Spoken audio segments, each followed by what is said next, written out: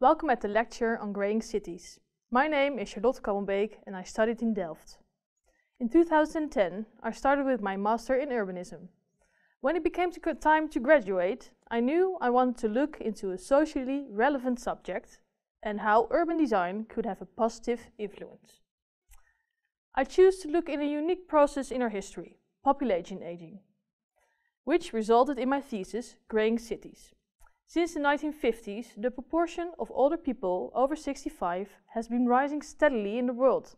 Sadly, old people often become part of a process of frailty. This scheme shows this process increases the chance of adverse health outcomes, such as functional disabilities, admission to an institution, and even death. The growing amount of frail elderly is an important public health issue. Research has shown that the process of frailty can be reduced or prevented from worsening by active aging. Urban design can be a powerful tool to encourage active aging. Design of the built environment is particularly important for older people.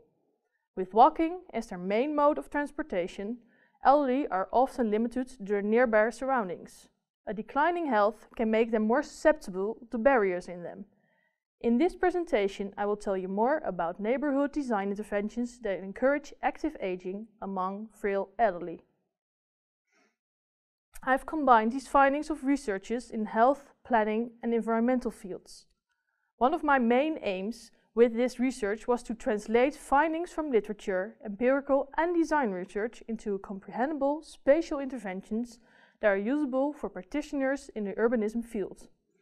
Therefore, I've made a booklet containing design principles which practitioners can use.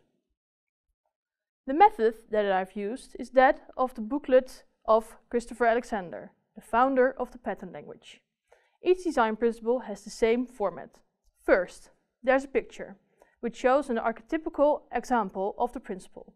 Second, after the picture, each principle has an introductory paragraph, which sets the context to the principle.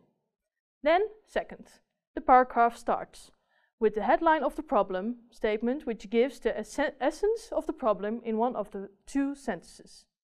And then follows the body of the problem, the longest section. It gives the empirical background of the principle, then the solution. This solution is uh, explained in the form of an introduction, or sorry, instruction. After the solution, there's a diagram, which shows the solution in the form of, yes, a diagram. In the literature research that I've done, I have found 39 different neighborhood design interventions that encourage active aging. The design interventions can be divided into six interrelated themes. Familiarity, accessibility, distinctiveness, legibility, comfort, and safety. First, familiarity. Many frail elderly find unfamiliar environments and featured and features increasingly stressful to cope with and tend to restrict their activities to familiar local places where, as they grow older. Therefore, in order to design familiar streets for elderly, changes should be small and incremental, and buildings and features should be reflecting the local style. Secondly, accessibility. Accessible, accessible neighborhoods have streets that enable elderly to reach enter, use and walk around places they need to wish to visit. Accessible neighborhoods should have local services, facilities and public transport on a walkable distance of about a maximum of 800 meters. And then, third, distinctiveness. Distinctiveness relates to the extent to which streets give a clear image of what they're used for, where uh, they lead to and uh, where they are. Design aspects that add to distinctiveness are, for example, a variety of architectural styles within one block, historical markers and curved streets. And then, fourth, a legible neighborhood is recognizable for older people and easily understood. For instance, it has a irregular grid pattern. The street pattern should be supported on the street level by clear signs and symbols and buildings reflecting their use with visible and obvious entrances, so other people know where to go. And then comfort. Comfortable streets are calm, welcoming and pedestrian friendly, with services and facilities required by older people and people experiencing contemporary or permanent incapacity. Interventions that help elderly feel more uncomfortable are widening sidewalks, creating buffer zones between sidewalks and streets, and adding benches that provide places to rest. And then, last but not least, safety. Safety even emerged in several different studies as the biggest concern of elderly. This limits their walking for everyday activities.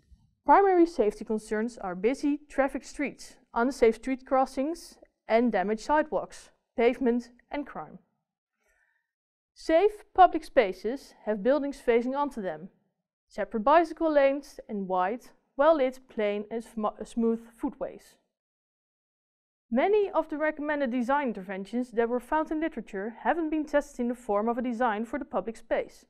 Therefore, I have done further research in the design of residential neighborhoods to promote active aging.